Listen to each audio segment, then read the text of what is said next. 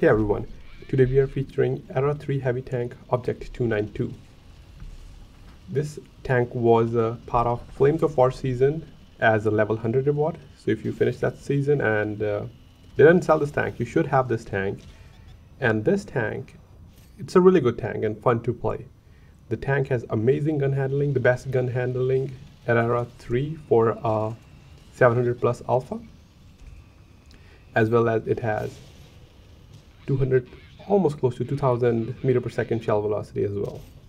It does have some weak points. It does not have the usual gun depression that MBTs get. It only has 4.5 degrees of gun depression, so you have to keep that in mind while playing that, this tank, as you cannot play ridges. In addition to that, it does not have hull armor, so its hull can easily be penned. So whenever you're moving, try to wiggle a little bit, like uh, I was doing, so the enemy 292, he just bounced on my side. You have to be careful not to expose your hull, which could be easier said than done because it, the tank doesn't have gun depression and sometimes you try to peek a little bit and exposes your hull and it also sets you on fire. So it has two main weak points, lack of gun depression and lack of armor. But it makes it up for its absolutely amazing gun handling. So we have three 700 or 700 plus alpha tanks at Era 3 or MBTs that are not missiles, Object 477, Thumper, and 292. 477 has a 2 second longer reload and Thumper has a little less alpha but has terrible gun handling compared to this tank. So in its current state, this is a tank I find most enjoyable to play because it has its weak points so you have to be careful playing this tank and uh, you have to make sure you're not, not around ridges because when the game started I was playing at the E7 position and I ended up taking a shot and I realized that, okay, that's not a position for my tank and moved to a more flat ground where I could use rubbles to peek around where I don't need much gun depression.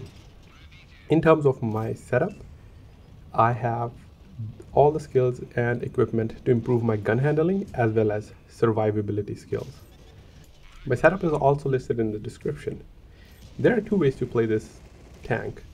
One is you go with your teammates and while the enemy is focusing on your teammates, you do damage while carefully preserving your HP.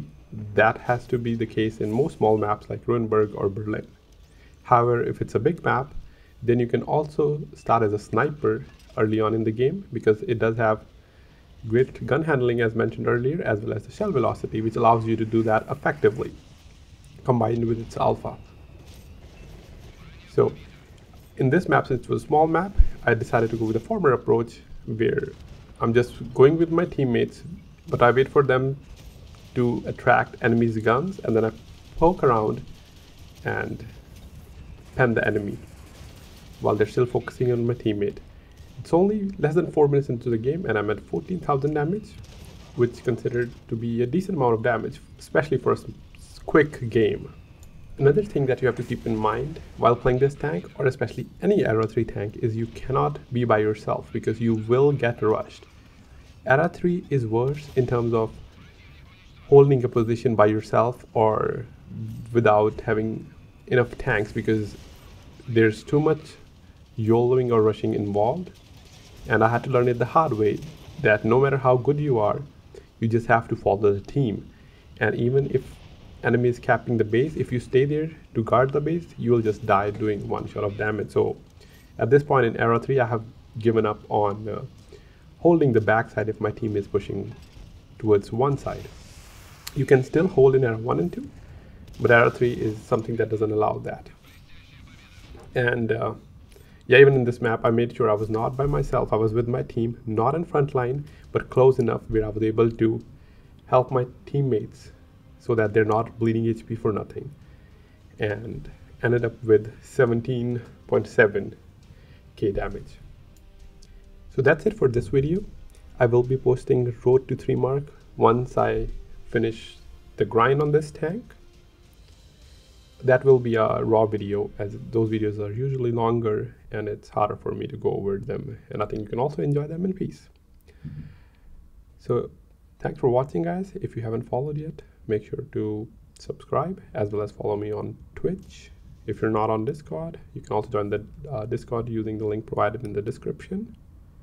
And once again, thanks for watching, and I will catch you guys next time. Have a great rest of your day.